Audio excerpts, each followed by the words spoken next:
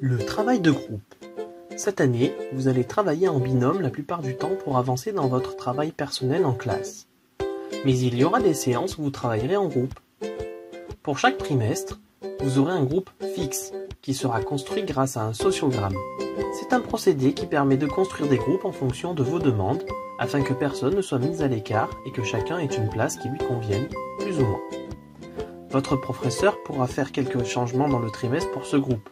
C'est lui qui décide. La majorité des travaux de groupe auront lieu avec ce groupe. Mais de temps en temps, vous serez dans d'autres groupes construits alors aléatoirement. Dans tous les cas, vous n'avez pas à discuter la construction des groupes. Pour qu'un groupe fonctionne, chaque personne devra avoir un rôle. Le chef, c'est lui qui a le dernier mot et qui décide au final. Il distribue les tâches de chacun pour mener à bien le travail demandé au groupe. Il choisit la façon de travailler, ensemble ou chacun de son côté ou par deux. Il vérifie aussi que le groupe soit dans les temps pour rendre le travail. Le tuteur. Il est le seul à utiliser le tableau blanc pour écrire ou faire des schémas. Il surveille la rédaction de tout le monde. Il s'assure ainsi que chacun écrive correctement ce qui doit être écrit. Il relie donc le travail des autres par exemple. Le maître du bruit.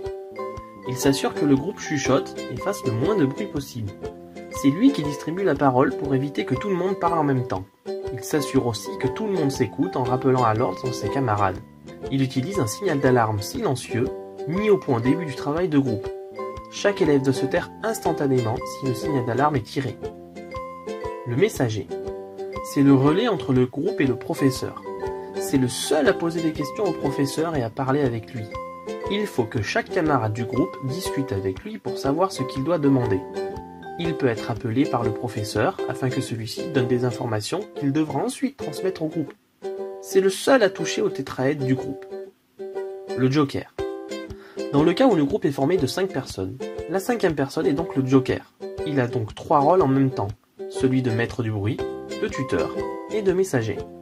À la fin de chaque travail de groupe, chaque élève doit évaluer la qualité du travail de groupe fourni, et pas les mathématiques, sur la toile d'araignée, et sur le carré de nombre. Sur la feuille de suivi de groupe, chaque élève qui n'aura pas bien rempli son rôle fera perdre des points au groupe. A l'inverse, un travail de groupe qui s'est bien déroulé se verra attribuer des points bonus. Il existe différents types de travaux de groupe.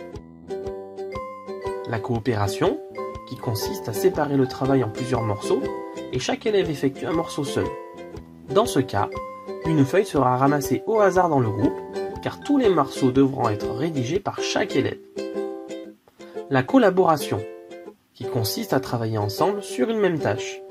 Dans ce cas, une seule feuille sera rédigée et négociée par le groupe. Le DSCO.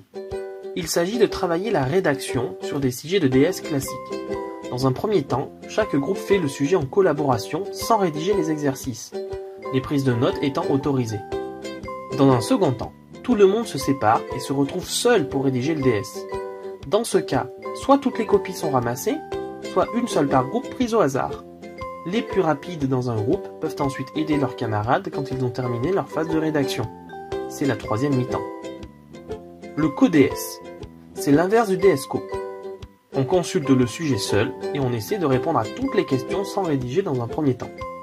On se rassemble ensuite pour comparer les résultats et rédiger en collaboration sur une copie unique, par groupe, le sujet dans un second temps.